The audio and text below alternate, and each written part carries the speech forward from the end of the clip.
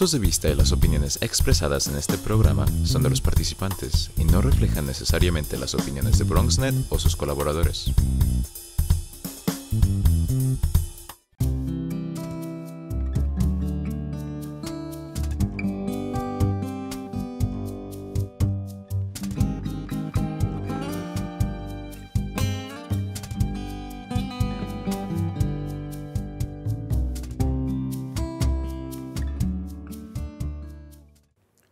Les saluda José Guerra López, director administrativo del Instituto de Estudios Mexicanos Jaime Lucero de CUNY. Bienvenidos a una edición más del proyecto de Historia Oral. En esta ocasión nos acompaña la hermana Julia Suárez, directora del Centro Comunitario Hans de la Parroquia de San Jerónimo en el sur del Bronx. Ella nos hablará acerca de la labor que, social que realizan para apoyar a la comunidad migrante en temas tales como salud, educación, entre otros. Hermana Julia, bienvenida. ¿Cómo está? Muchas gracias por la invitación. Estoy muy bien, gracias a Dios, y me da gusto estar aquí. Gracias por acompañarnos. Pues, primero que todo, te, quiero agradecer veras acompañarnos aquí un día más este, en esta edición. Te quería preguntar si nos puedes platicar un poco a grandes rasgos de lo que es HANS, a qué se dedican, dónde está, cuándo empezó. Platícanos un poco. Ok, HANS significa, bueno, es un acrónimo en inglés que significa manos, pero este, cada letra tiene un significado en español. Por ejemplo, la palabra H significa hospitalidad, la palabra A es ayuda, la, palabra, la letra N significa necesitado, eh, la D, desarrollo, la S, superación. Entonces, todo junto es hospitalidad y ayuda al necesitado para su desarrollo y superación. Nosotros estamos eh, localizados en el sur del Bronx, está, nuestra dirección es 330 East, 138 Street, eh, Bronx, Nueva York 10454. Estamos localizados en el basement, en el sótano de la iglesia de San Jerónimo. Y este centro se inició oficialmente en el 2008, pero su construcción inició desde el año 2000, cuando gracias a la iniciativa del párroco que en ese tiempo vivía, porque ya falleció el padre John Grange, que fue eh, una persona que creció, que nació, creció en ese barrio del sur del Bronx y también fue um, una persona que sintió el llamado de Dios a entregarse y toda su formación la hizo en el sur del Bronx. Y curiosamente, él fue nombrado sacerdote de San Jerónimo y conoce perfectamente, conoce perfectamente a la comunidad eh, de allí. Y él siempre me decía, Julia, dice, observa bien esta comunidad. Dice, esta comunidad usualmente, dice, tiene mucho que ofrecer. Han pasado aquí irlandeses, han pasado aquí este, muchos eh, alemanes, pero ahora le toca a la comunidad a los mexicanos. Dice, entonces es una comunidad que necesita fortalecerse, necesitamos apoyarla. Y dice, y bueno, este espacio de Hans va a ser un espacio para ellos, desde donde principalmente se les va a brindar la ayuda para que ellos se sientan como en casa. Entonces me gustaron esas palabras que el sacerdote me decía y ahí lo consideramos como el fundador de este lugar, el padre John Grange, eh, americano completamente, pero con un corazón mexicano muy grande. Ah, qué bien. Oye, ¿y cuál es el objetivo en sí de, de Hans aquí en el sur del Bronx? Pues el, el, centro, su mismo nombre lo llevas, es un, es un lugar donde está creado para la ayuda, para el necesitado. No necesariamente tiene que ser una persona mexicana que necesite ayuda, que necesita ayuda y llega ahí y se le va a atender. O sea, simplemente cualquier persona, el objetivo de este lugar es que cualquier persona que llegue ahí buscando ayuda, nosotros eh, tratamos de, de ayudarle en lo que nosotros podamos. Tenemos varias líneas de, de, ayuda, todo lo que tiene que ver con la educación, lo que tiene que ver con la migración. Que son lo los que programas tiene, que ofrecen. Sí, sí, son los programas que tenemos y prácticamente esos son los, la, las ramas en lo que tratamos de, de, ayudar a la comunidad. Ah, muy bien. Antes de entrar de lleno a la cuestión de los programas que tienen ustedes, me gustaría que nos platicaras un poco de cómo inició tu vida religiosa, eh, de dónde nació este, este, este llamado. El llamado, sí, ¿no? La, la, la curiosidad. Sí. Bueno, eh, mi nombre es Julia Suárez y este, yo nací en la ciudad de Puebla. Eh, pertenezco a una familia de poblanos totalmente. Soy la menor de nueve hermanos. Eh, y pues mis padres fueron profundamente hombres religiosos eh, y ellos siempre me inculcaron los valores de la, de la educación religiosa.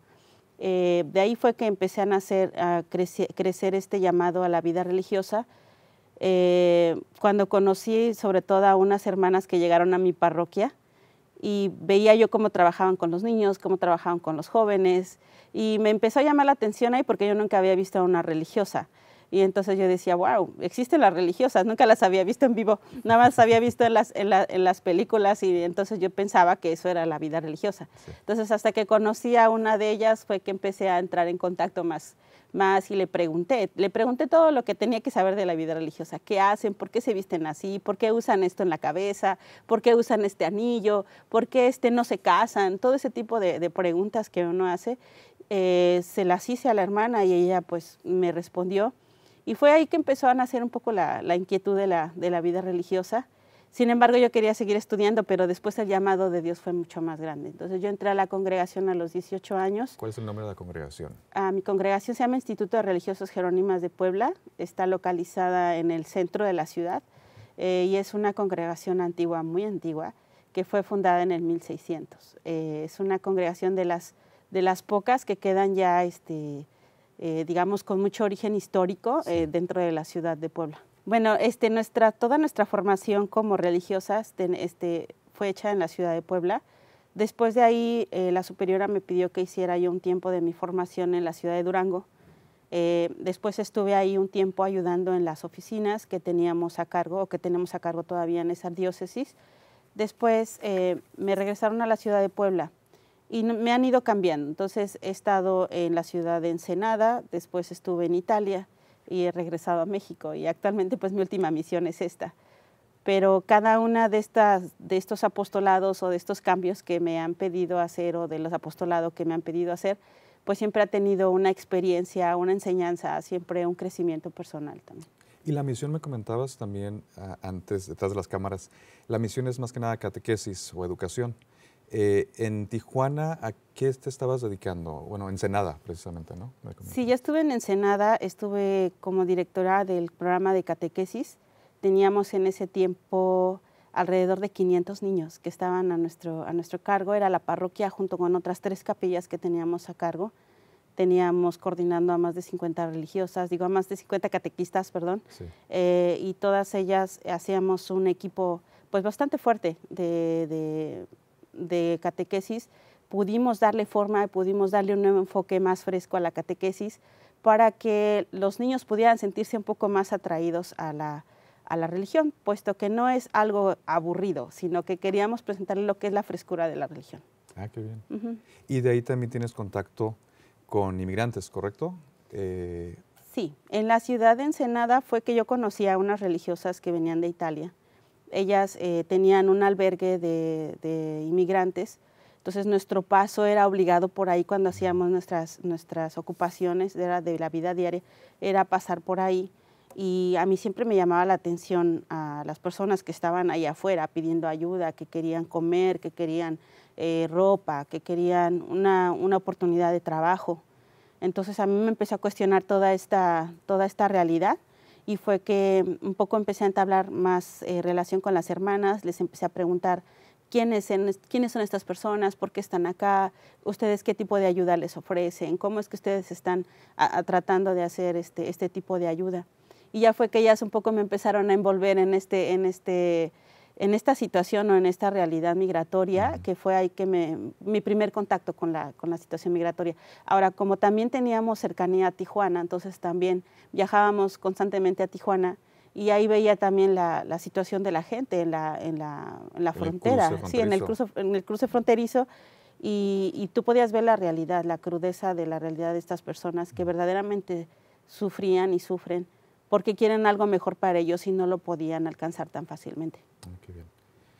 Pues gracias por compartirnos esto. Vamos a ir a una pausa comercial y al regresar seguiremos conociendo más acerca de los servicios que ofrece Hans para la comunidad en la parroquia San Jerónimo, ubicada en Mount Haven.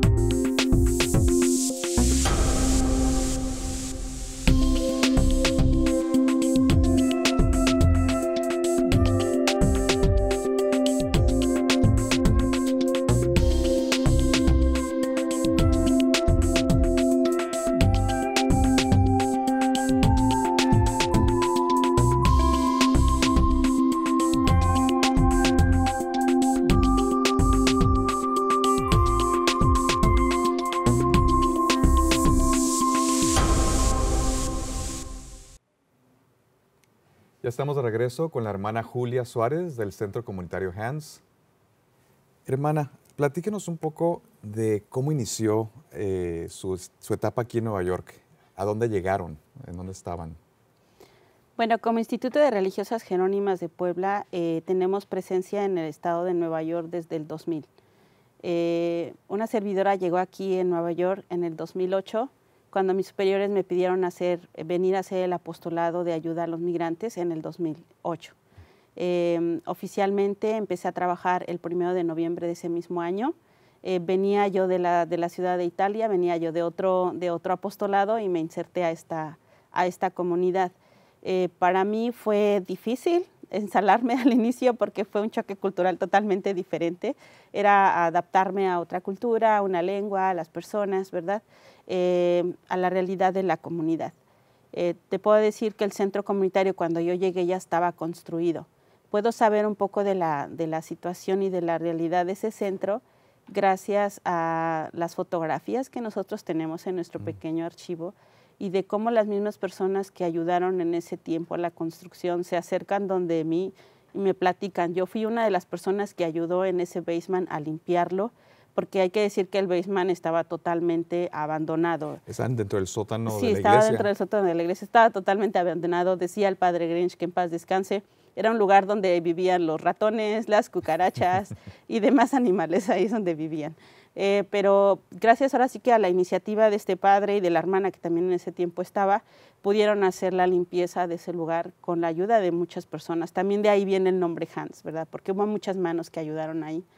Eh, y fue por ellos que se levantó y fue por ellos que, y es por ellos que nosotros seguimos en esta lucha, en esta, en esta, digamos, compromiso que tenemos con la comunidad.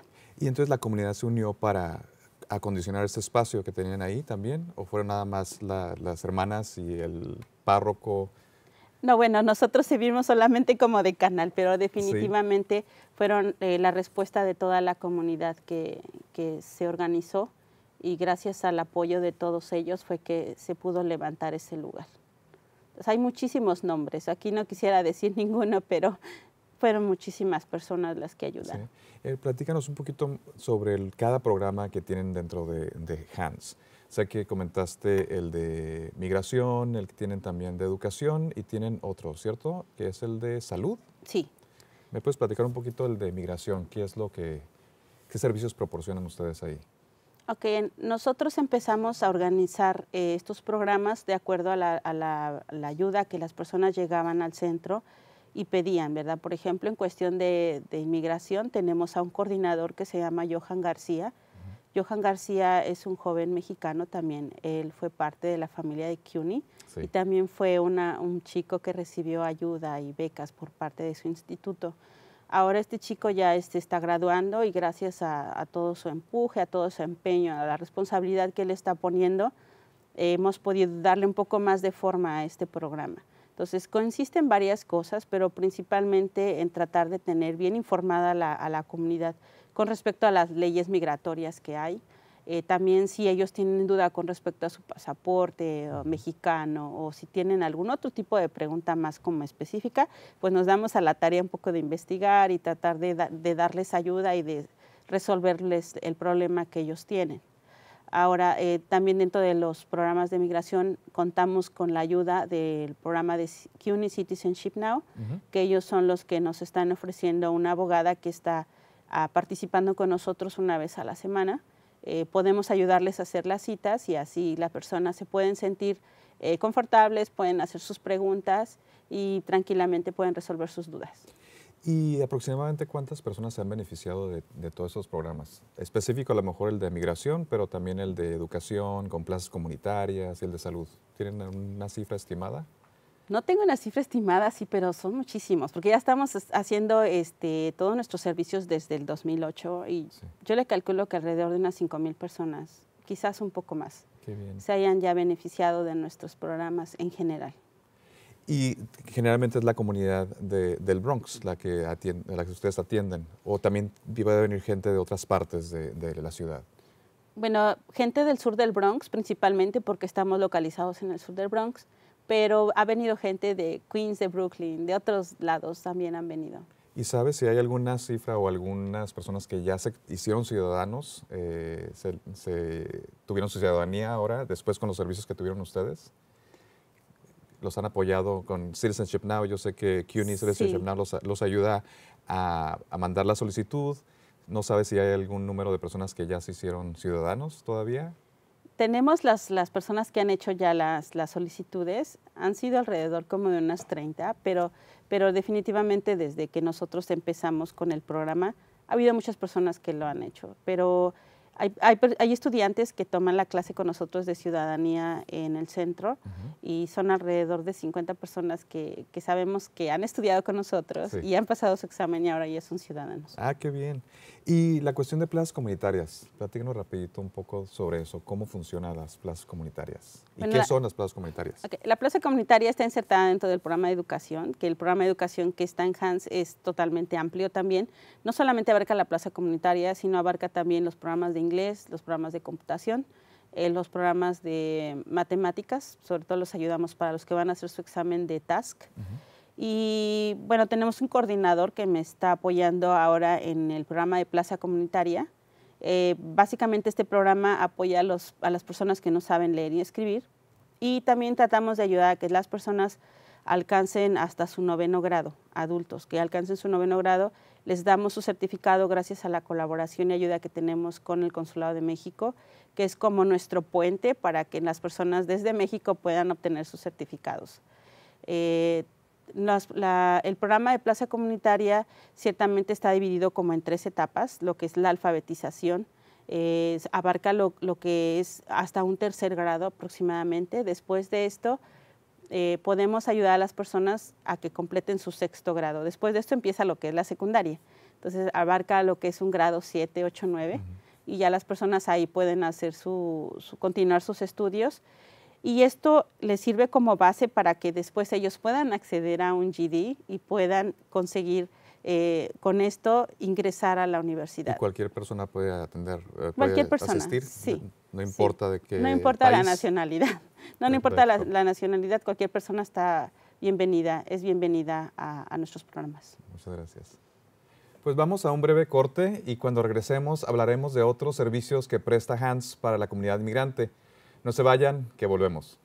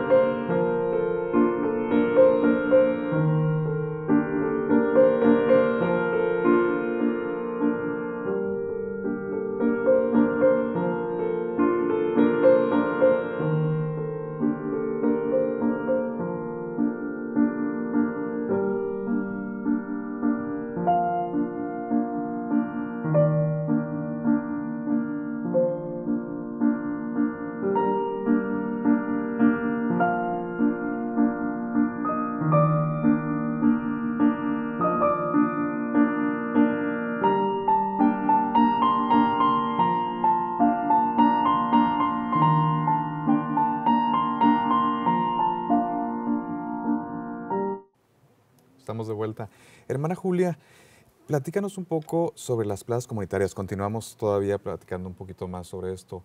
¿Quién es el coordinador de las plazas comunitarias? Eh, ¿Qué otros servicios dan aparte de plazas comunitarias en cuestión de educación?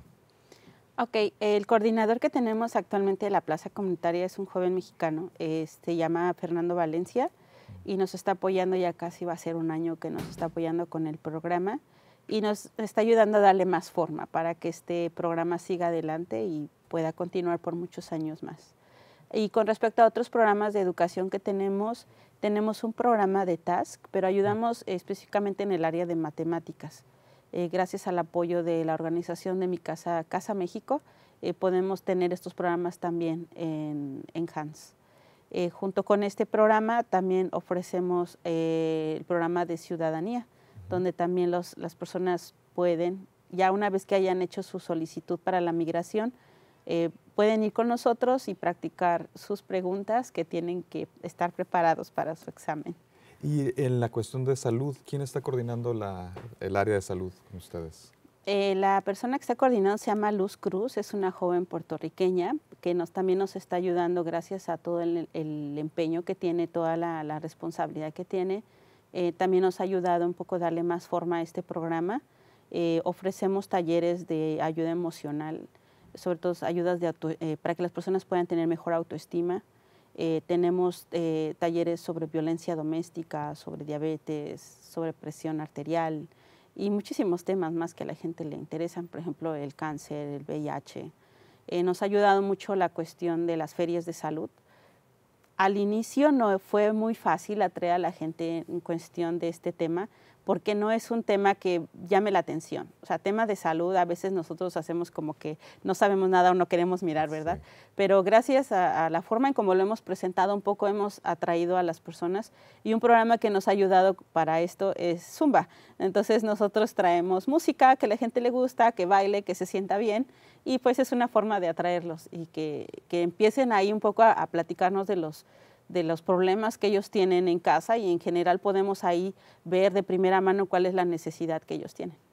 ¿Y entonces ustedes hacen alguna vinculación con eh, agencias de la ciudad o, continúan con el consulado también para la cuestión de salud? ¿Con quiénes se asocian ustedes? Sí, tenemos varios este, colaboradores. Eh, sí tenemos principalmente el Consulado de México, la Ventanilla de Salud. Eh, también tenemos otras agencias de la ciudad, como el, el mismo Departamento de, Salud. También nos apoya la Comisión Latina del SIDA, que están localizados en Manhattan, eh, Hispanic Federation y algunas otras organizaciones más, son muchísimas. Ahí del sur del Bronx también tenemos otras organizaciones que nos, que nos están apoyando. Y comentaste un poquito de que hubo algo de resistencia en la comunidad en la cuestión de salud. Eh, ¿Tú qué crees? A, qué se debe esto? ¿Es cuestión cultural? ¿No nos gusta hablar de la salud? ¿Qué, ¿Cuál fue lo que ustedes se toparon ustedes? ¿Con qué se toparon con la comunidad? Pues es un tema que no es muy frecuente, primero, entonces la gente no está muy habituada a, hablarlo. Eh, sí cuesta un poco de trabajo porque al inicio no tenemos esto en, mente. Normalmente el hispano cuando tiene problemas de salud, entonces va al doctor y entonces dice, tengo un problema de salud, pero no tenemos esa disciplina o no tenemos esa mentalidad o educación de tener o de hablar de ese tipo de problemas antes del problema. Sí, sí, es problema de prevención. Eh, no estamos muy acostumbrados en esto. Entonces, eh, nosotros hemos trabajado en esa parte y creo que nos está funcionando bastante bien. Ah, qué bien. Y en la cuestión de, comentabas, ¿no? Un poco de la cuestión de salud mental también. Este, ¿Ustedes trabajan también con alguna institución o alguna agencia de la ciudad para, para cuestión de salud mental? Bueno, tenemos contacto con la, con la oficina del Departamento de Salud. Eh, hemos hecho también algún acercamiento también con la primera dama de aquí de, Nueva York. Ojalá que pronto podamos colaborar con ellos para, este programa. Nosotros sabemos del compromiso que, la primera dama tiene eh, y pues ojalá que nos pueda apoyar. Hermana Julia, muchas gracias por acompañarnos eh, en esta sesión del proyecto Historia Oral. Aprendimos mucho de lo que hacen ustedes aquí en el sur del Bronx. Eh, creo que es muy importante conocer lo que están haciendo ustedes y qué servicios hay. Si nos puedes platicar un poco eh, nuevamente dónde se encuentran, eh, teléfono, sitio web. Sí, es San Jerónimo Hans Community Center. Estamos localizados en la iglesia de San Jerónimo. en el sótano. La dirección es 330 East 138 Street, Bronx, Nueva York 10454. Y nuestro número de teléfono es 718-402-7866. Y nuestro sitio web es www.gironhans.com. Muchas gracias otra vez nuevamente por acompañarnos. Gracias por habernos acompañado en el proyecto de Historia Oral. Hasta la próxima.